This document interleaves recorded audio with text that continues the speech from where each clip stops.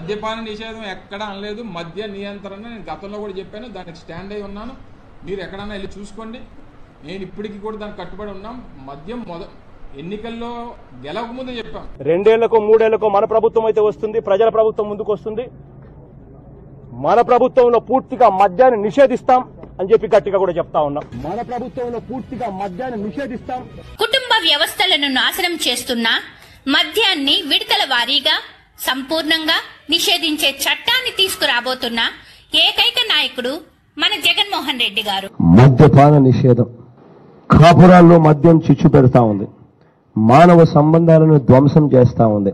అందుకే అధికారంలోకి వచ్చిన తర్వాత మూడు దశల్లో మద్యాన్ని నిషేధిస్తాం. మద్యపాన నిషేధం ఎక్కడ అనలేదు. మద్య నియంత్రణ నేను గతంలో కూడా చెప్పాను. దానికి స్టాండ్ అయి ఉన్నాను. మద్యపాన నిషేధం ఎక్కడ అనలేదు. మద్య నియంత్రణ నేను గతంలో కూడా చెప్పాను. దానికి స్టాండ్ అయి ఉన్నాను. మీరు ఎక్కడన్నా వెళ్ళి చూసుకోండి. నేను ఇప్పటికీ కూడా దానికి కట్టుబడి ఉన్నాం. మద్యం మొద ఎన్నికల్లో గెలవక ముందే చెప్పాం. రెండేళ్ళకు మూడేళ్ళకు మన ప్రభుత్వం అయితే వస్తుంది. ప్రజల ప్రభుత్వం ముందుకు వస్తుంది. మన ప్రభుత్వంలో పూర్తిగా మద్యాన్ని నిషేధిస్తాం అని చెప్పి గట్టిగా కూడా చెప్తా ఉన్నాం. మన ప్రభుత్వంలో పూర్తిగా మద్యాన్ని నిషేధిస్తాం.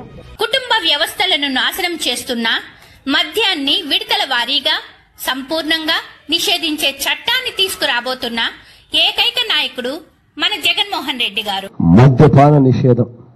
కాపురాల్లో మద్యం చిచ్చు పెడతా ఉంది. మానవ సంబంధాలను ధ్వంసం చేస్తా ఉంది.